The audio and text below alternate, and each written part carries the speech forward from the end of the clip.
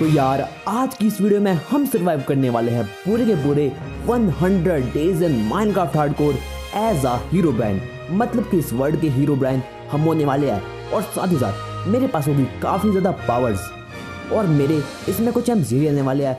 First मुझे hundred mobs को मारना होगा, ताकि मुझे मेरी पावर्स वापस मिल पाए। सेकंड मुझे मारना होगा इस वर्ल्ड के सबसे खतरनाक बॉस को। और लास्ट में हम जाने वाले हैं इस बैड रॉक के केज में, और इसके अंदर आपको भी सरप्राइज़ मिलने वाला है, और मुझे भी। तो जानने के लिए वीडियो को ज़रूर देखना। और हाँ लाइक एम वन मतलब कि मुझे सिर्फ़ आपसे ही लाइक चाहिए तो जल्दी से लाइक कर दो और सब्सक्राइब भी। पर वीडियो शुरू करने से पहले this is again sponsor time hello अगर तुम्हें इंग्लिश बोलने में परेशानी होती है अपने इंग्लिश इंटरव्यू के लिए तैयारी कर रहे हो और अगर तुम अच्छे से इंग्लिश बोलना चाहते हो गुड न्यूज़ तो डाउट एंड आपके लिए लाया है इंग्लिश स्पीकिंग कोर्स जहाँ पर टॉप टीचर्स आपको एकदम बेसिक से इंग्लिश बोलना सिखाएँगे, वो भी हिंदी में। यानी कि आप भी इंग्लिश बोल सकते हो। और साथ ही, और इस कोर्स के एंड में आपको एक सर्टिफिकेट भी मिलेगा। तो अभी जाओ और डाउट एंड ऐप पर ये कोर्स अभी खरीदो। तो अभी जाओ और इस कोर्स को बाय करो। और एकदम बेस्ट कोर्स है। और हाँ लिंक डिस्क्रिप्शन में दे रखा है।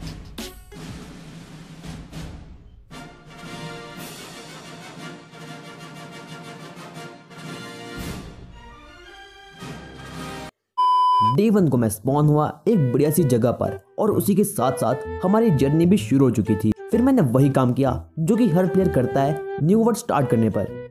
यानी वुड्स कलेक्ट करना। हाँ हाँ माइनिंग भी करेंगे, पर वो थोड़ी देर बाद स्टार्ट करेंगे। फिर मैंने वुड्स कलेक्ट करना शुरू किया डे वन से डे टू तक। मैंने पहले तो वुड्स के टूल बनाए और उसके बाद थोड़े स्टोन्स के भी। डे टू से डे थ्री तक मैंने सोचा कि चलो क्यों ना इस बड़े से आइलैंड को एक्सप्लोर करते हैं। और मैं कोई ऐसी जगह ढूंढ रहा था जहाँ पर कि मैं अपना बेस बना पाऊँ। और डे फोर को मुझे वो जगह मिल चुकी थी जहाँ पर कि मैं अपना बेस बनाने की सोच रहा था। और पहले तो मैंने उसके लिए कुछ चीज़ें कलेक्ट की, जैसे कि वुड्स स्टोन्स और बाकी चीज़ें भी। फिर मैंने उसी दिन से अपने घर पर काम करना शुरू कर दिया। एंड यस डे सेवन तक हमारा घर भी बनकर तैयार हो चुका था। पर वो अलग बात है कि इसे घर तो बिल्कुल नहीं कह सकते क्योंकि यार ये डब्बा ही है। और अब हम डे सेवन तक आए गए थे तो ये टाइम था हमारी हीरो बैंड की फ़र्स्ट पावर को यूज़ करने का। मतलब कि अभी हमारे पास कोई ओपी वाली पावर आने वाली है। इसीलिए मैंने चेक किया कि क्या हमारे पास कोई पावर आई है। एंड यस हमारे पास आ चुकी थी हीरो ब्रांड की ड्रिल और इससे माइनिंग करना बहुत ईजी है। जैसे कि देखो, मैंने बस यहाँ पर सिंगल क्लिक किया है। और देखो, ये कितना बड़ा हो चुका है। और एक बार तुम देखो जरा कि कहाँ तक माइन हो चुका है। और भाई ये टूल काफ़ी ज़्यादा ओपी है। और अभी तो जब हम जर्नी पे आगे बढ़ेंगे तो देखना कि मेरे पास कैसी कैसी पावर्स होगी। हमारे पास ये टूल आ चुका था, इसलिए मैंने सोचा कि यार ये बेस्ट टाइम है माइनिंग शुरू करने के लिए। तो मैंने डे सेवन से डे टेन तक माइनिंग की और मुझे इस माइनिंग के बीच काफ़ी सारे आइडल मिले। और भाई इस ड्रिल ने मेरी काफ़ी हेल्प किया है, क्योंकि जब भी मैं किसी केव में जाता था, मैं बस इससे यूज़ करता था और होल बहुत नीचे तक हो जाता था और मुझे ये भी पता चल जाता था कि लावा कहाँ है और अब हमारे पास आयरन आ चुके हैं तो मैंने सोचा कि क्यों ना मैं जल्दी से आयरन का आर्मर और टूल्स बना पाऊँ। तो मैंने पहले तो जल्दी से आयरन की वेस्ट और पैंट्स बनाई और साथ ही साथ कुछ टूल्स भी। और फिर मैंने देखा कि क्या हमारे पास कोई पावर्स आई है। पर इस बार मुझे कुछ अजीब सा मिला। टी एन टी पर वो टी एन टी बाकी से थोड़ा अजीब था और उसका कलर भी थोड़ा अजीब था। और इसीलिए मैंने सोचा कि चलो, अब इससे कुछ मॉब्स को मारते हैं। मैं थोड़ी ही दूर गया और मेरी किस्मत काफ़ी ज़्यादा बढ़िया थी, जो मुझे पास में ही एक बहुत बड़ा विलेज मिल चुका था। और इससे अच्छी बात कोई हो ही नहीं सकती थी। मैंने पहले तो जल्दी से उस विलेज में एंटर किया और उसके बाद विलेज के एकदम सेंटर में टीएनटी रखा और उसे इग्नेट कर दिया। भाई, ये तो पूरा विलेज ही ले गया।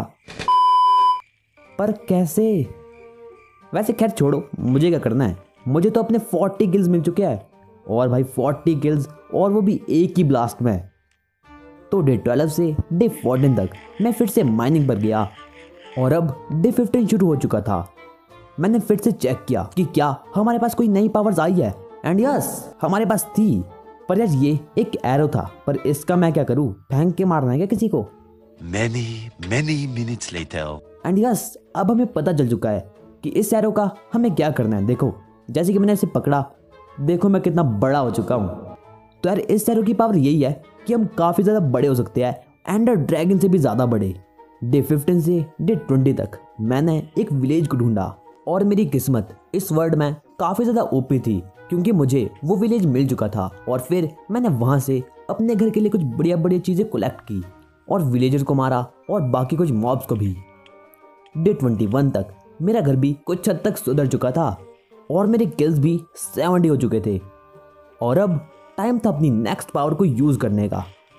डे 22 को मैंने चेक किया कि क्या हमारे पास कोई ओपी वाली नई पावर आई है। एंड यस हमारे पास थी एक स्प्रिंग और इसकी हेल्प से हम काफ़ी ज़्यादा ऊपर तक जंप कर सकते हैं। और भाई ये तो कुछ भी नहीं है।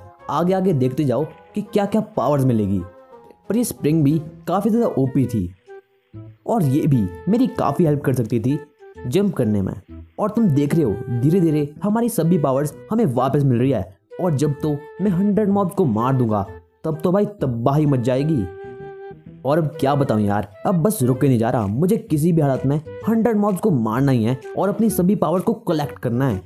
इसीलिए टी ट्वेंटी थ्री की रात को मैं अपने घर से बाहर निकला और मॉब्स को मारने लगा। क्योंकि देखो, रात के ही टाइम पर सबसे ज़्यादा मॉब्स होते हैं। और मैं यही सोच रहा हूँ कि इन लोगों का कुछ अच्छा नाम नहीं यार मॉब्स चलो हम इनका नामकरण करते हैं। तो ये हो गए माइनक्राफ्ट के गुंडे। और सुबह तक मेरे टोटल किल्स हो चुके थे 98 बस बचे थे सिर्फ़ और सिर्फ़ दो। और साथ साथ मुझे थोड़ा खाना भी चाहिए था, क्योंकि मेरी ब्रेड और बाकी चीज़ें ख़त्म हो चुकी है। इसलिए मैं वापस एक विलेज में गया और मुझे पास में ही एक विलेज दिखाई दिया। भाई, क्या दे रहे हैं लोग ट्रेडिंग में? चलो देखते हैं। भाई, ये क्या दे रहा है? और ये भी। ओ भाई, ये पागल विलेजर है क्या? बस भाई, बहुत हो गया। अब मुझसे देखे नहीं जा रहा।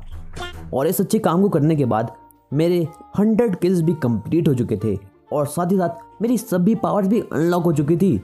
और अब तो हम माइनक्राफ्ट के भगवान हैं।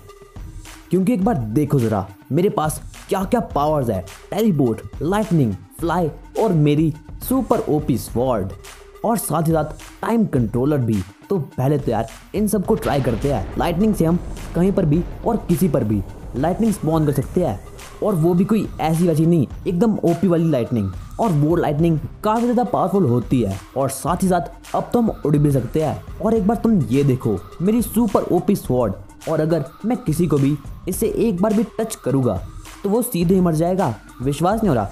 चलो एंडर ड्रैगन को मार के देखते हैं। वेट पहले तो मैं अपना टेलीपोर्ट वाली पावर यूज़ करता हूँ।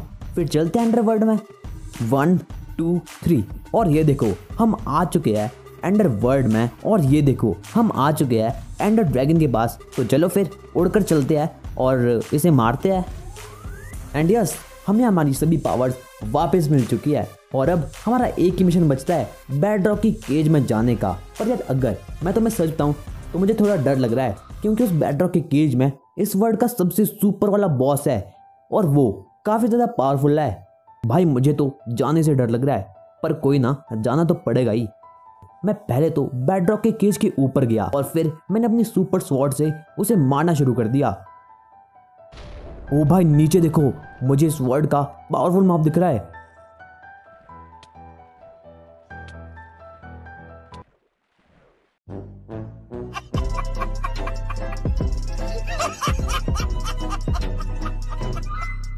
This is your moment.